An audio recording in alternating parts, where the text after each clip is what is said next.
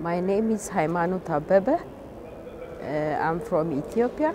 I'm working for the Ministry of Agriculture in the uh, Plant Health Regulatory Directorate.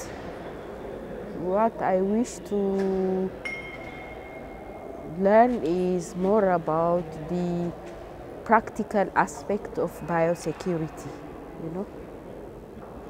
There are many challenges, you know, the system is not, it, by itself, it is not well established like here, like Australia. We have, like, biosecurity is not only quarantine, but the quarantine system, uh, everything, it's not well established in Ethiopia.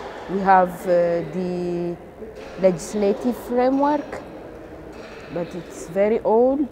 Mm, it should be updated according to the ISPMs, and also there is lack of um, trained manpower on uh, biosecurity aspects.